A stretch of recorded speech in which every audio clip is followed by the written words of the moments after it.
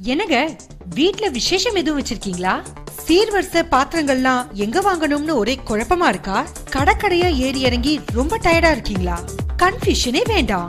நாற்பத்தி மூன்று ஆண்டுகளா மக்கள் சேவையில் நன்மதிப்பை பெற்ற நம்ம தமிழ் பாத்திர மாளிகை இப்போது புதிய பொலிவுடன் பிரம்மாண்டமாய் நம்ம சிதம்பரம் மேல வீதியில நம்ம தமிழ் பாத்திர மாளிகையில கும்பகோணம் பித்தளை பாத்திரங்கள் சேலம் காரைக்குடி எவர் சில்வர் பாத்திரங்கள் ஸ்டீல் கட்டில் பீரோ சோஃபாக்கள் அனைத்து branded mixie cooker grinder induction stove plastic chair அனைத்து கம்பெனிகளின் ஃபேன்கள் திருமணத்திற்கு தேவையான சீர்வரிசை பாத்திரங்கள் கோவில் பூஜை பொருட்கள் உடல் நலத்திற்கு தேவையான செம்பு பாத்திரங்கள். பாத்திரங்கள் மட்டும் இல்லைங்க தீபாவளி பண்டிகைக்கு தேவையான இரட்டை கிளி பட்டாசுகள் கூட இங்க கிடைக்கும்.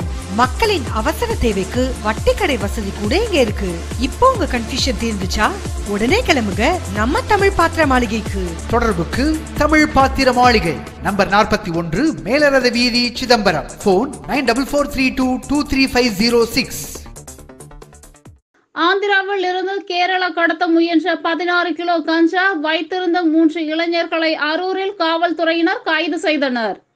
தர்மபுரி மாவட்டம் அரூரில் தீபாவளி பண்டிகையொட்டி குற்றச்செயல்களை தடுப்பதற்காக அரூர் உட்கோட்ட காவல் துணை கண்காணிப்பாளர் பெனாசிர் பாத்திமா மற்றும் குற்றப்பிரிவினர் போலீசார் பேருந்து நிலையம் மஜித் தெரு ரவுண்டானா நான்கு ரோட் பழையப்பேட்டை உள்ளிட்ட பகுதிகளில் ரோந்து பணியில் ஈடுபட்டிருந்தனர்.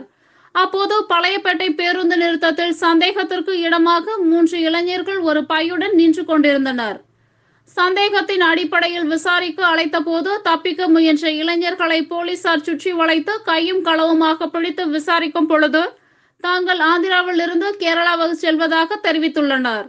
அப்போது அவர்கள் வைத்திருந்த பையை சந்தேகத்தின் அடிப்படையில் பிரித்து பார்க்கும்போது அதில் இரண்டு கிலோ பொட்டலம் கொண்ட எட்டு கஞ்சா பாக்கெட்டுகள் இருந்துள்ளது.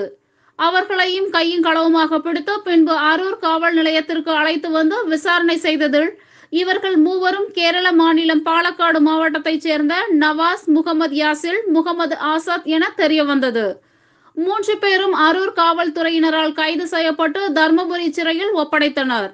மேலும் இவர்களிடம் வைத்திருந்த சுமார் ஒரு லட்சத்து அறுபதாயிரம் மதிப்புள்ள பதினாறு கிலோ எடை கொண்ட கஞ்சா பாக்கெட்டுகளை அரூர் காவல்துறையினர் பறிமுதல் செய்தனர். நன்றி.